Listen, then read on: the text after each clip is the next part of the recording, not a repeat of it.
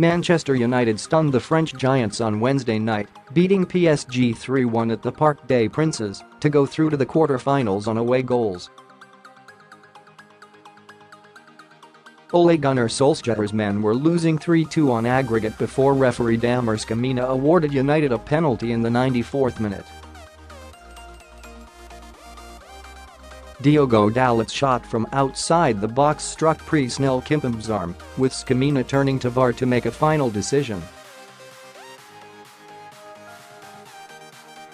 The referee pointed to the spot, despite opinions of many still being split on the handball.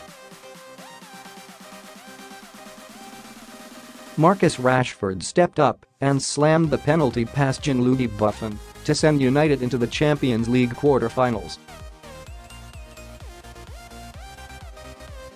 And UEFA have released a report on the decision, backing Skomina for awarding the United penalty.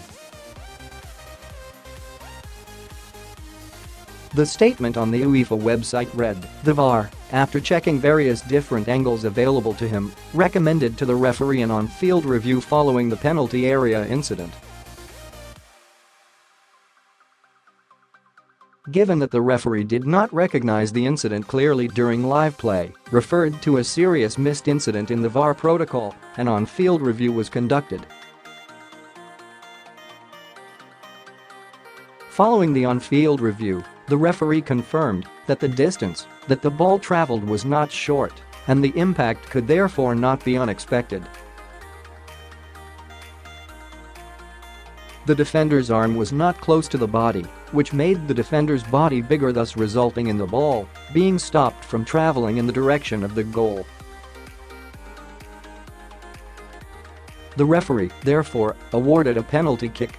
All the above-mentioned decisions were made in full compliance with the VAR protocol.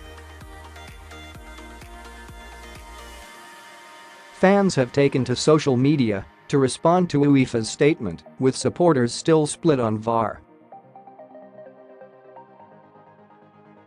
A United fan said, I'm never going to criticize VAR after what happened at Paris. Another added, great decisions, keep it up. However, a skeptical supporter simply wrote on Twitter, VAR is bull's tea, unexplainable. UEFA attempt to cover up their mess, said a fellow fan.